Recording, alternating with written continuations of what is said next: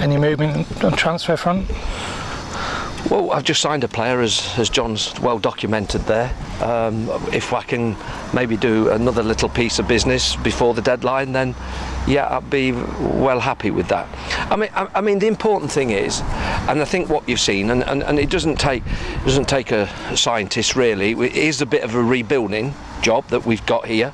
That's 11 players, I think, isn't it? We've we, we've we've done so far. So um, you know, so there's still a se- settling in period for one or two, and the ones that have come in late as well. Um, but we're getting, I think, a better group of of players.